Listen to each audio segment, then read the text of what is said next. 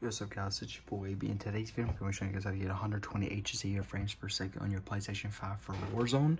Um, and first, you just need a monitor that does support 120 frames. Um, that's very important.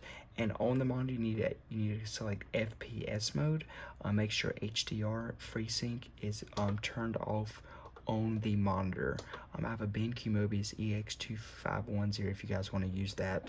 Uh, so that's uh, what you need for like the setup and stuff like that. So make sure you have a monitor that supports. Make sure you have HDR FreeSync off. Um, make sure you have ray tracing off too as well. And then what you guys want to do is go to screen and video. And um, you could, you might need to lower your resolution, um, but I just have it on automatic and it should still work. Um, make sure HDR is turned off right there and then enable 120 HZ output at the bottom.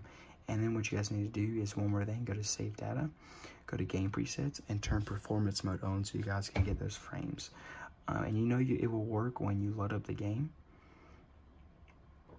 And it's gonna go to a black screen and then go right back on. That's how you know you're rating 120. You guys can check by just clicking on the monitor and it will say 120 right there. And I don't think there's actually like a um like a setting you guys can turn on. I think it just automatically is on. I couldn't really find one. Um, but yeah, that's you'll just know it's working by just checking your monitor, and it will just be telling you the output um, that it is displaying. Because I'm looking, I'm, I'll look right now for you guys, but I don't really see a menu, a setting on the menu for it. Uh, it would probably be under general. Yeah, I don't.